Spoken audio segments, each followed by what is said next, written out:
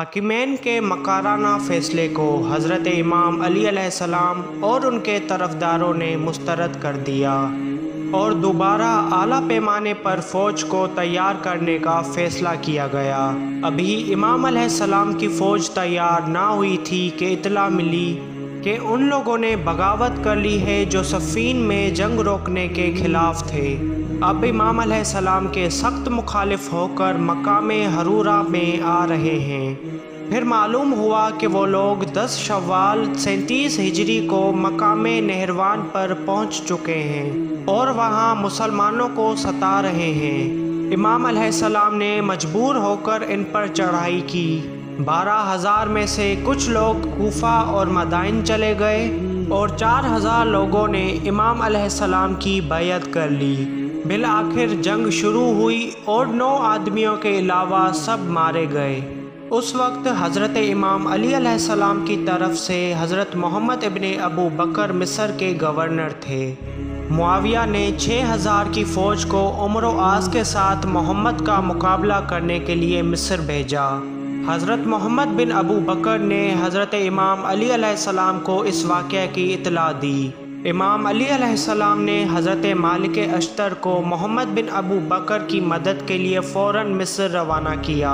मुआविया को जब हज़रत मालिक अश्तर की रवानगी का पता चला तो उसने मिस्र की राह में आने वाले मकाम अरीश के ज़मींदार को खुफिया ख़त लिखकर भेजा।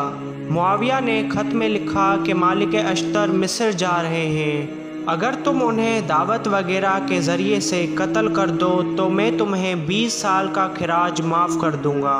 उस शख्स ने ऐसा ही किया जब मालिक अश्तर वहाँ पहुँचे तो उसने दावत की और उसने दूध में जहर मिलाकर हज़रत मालिक अश्तर को दिया, जिससे आपकी शहादत वाक़ हो गई।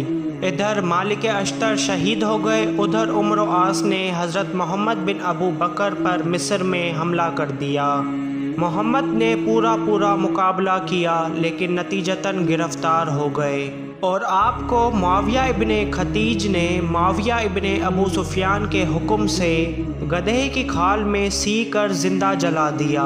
जब हज़रत आयशा को अपने भाई की इबरतनाक मौत की इतला मिली तो आप बेहद रंजीदा हो गईं और पूरी उम्र बाद नमाज़ मुआविया और उम्र आस के लिए बदुआ करती रहीं। जब मालिक अश्तर और मोहम्मद बिन अबू बकर की शहादत की खबर मौला इमाम अली सलाम तक पहुँची तो आप सलाम बेहद रंजीदा हुए और आपकी पाक आँखों से आँसू जारी हो गए। ये वाक़ सफ़र सन सैंतीस हिजरी का है। इसी साल इमाम अली सलाम को खुदा ने इमाम हुसैन सलाम से एक पोता दिया, जिनका नाम इमाम सलाम ने अपने नाम पर अली रखा। ये ज़ाहिर है कि रसूल खुदा हज़रत मोहम्मद मुस्तफ़ा सल्लल्लाहु अलैहि वसल्लम के बाद इस्लाम की सारी ज़िम्मेदारी हज़रत इमाम अली इबन अबी तालिब अलैहिस्सलाम पर थी। जिस तरह सरवर कायनात अपनी सारी उम्र में इस्लाम की तबलीग करते रहे और इस्लाम को फ़रोग देने में तन मन धन की बाजी लगाए रहे इसी तरह अमीरुलमोमिनीन ने भी रसूल खुदा के बाद इस्लाम को उरूज तक पहुँचाने के लिए जदोजहद की और किसी भी वक्त इस तबलीग से गफलत नहीं बढ़ती हिंदुस्तान, जो उस वक्त गैर खुदा और बुतों की परस्तिश का मरकज़ था, इमाम सलाम की जदोजहद की वजह से ही हिंदो सिंध में इस्लाम पहुँचा। हिंदुस्तान में इस्लाम सबसे पहले इमाम अली सलाम के अहद में पहुँचा। हिंदुस्तान का बादशाह शनसब बिन हरीक अमीरुल मोमिनीन इमाम अली के हाथों पर ईमान लाया। और इसी तरह हिंदो सिंध में इस्लाम फैलने लगा, जो इमाम अली सलाम की बदौलत हुआ। अमीरुलमोमिनीन मौलाए कायनात, इमाम अली सलाम की ज़िंदगी पर मबनी, मेरी इस डॉक्यूमेंट्री का दसवां पार्ट था। अगर आपको मेरी वीडियो पसंद आई हो तो वीडियो को लाइक करें और चैनल को सब्सक्राइब करके अहल बैत राह निजात को सपोर्ट करें।